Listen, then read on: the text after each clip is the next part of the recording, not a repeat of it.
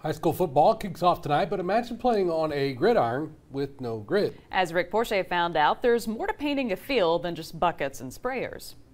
Got it? So we string a line to make sure that every number is exactly 27 feet from the sideline. Painting a football field is as much science as it is art. Lay them down, I'll get started. And it's labor intensive. We'd paint every line. We'd have to roll up the string, move the string. It can take four experienced painters two days to paint one field. But not anymore. Thanks to science. Meet the turf tank. BREC employees named this one R2. It's a computer-controlled, GPS-guided painter. It'll paint lines, numbers, hashes, and media lines without me having to do anything except replace the paint.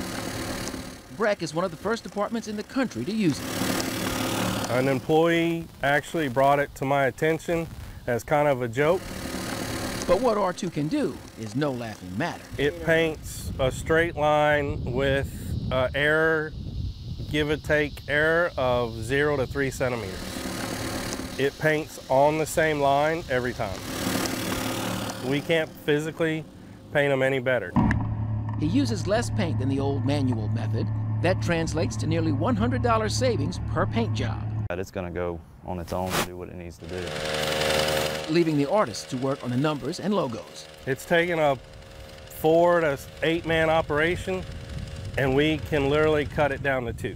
And they can do it in just half a day. We're, we've proven a savings in labor, we've proven a savings in paint per application. So move over, Picasso. There's a new Rembrandt of the football field. And his work won't cost nearly as much as one of your paintings.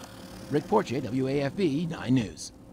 Well, R2 and his twin brother D2 currently paint all of BREC's football, soccer, lacrosse, and flag football fields. Soon, they will also paint the BREC baseball field.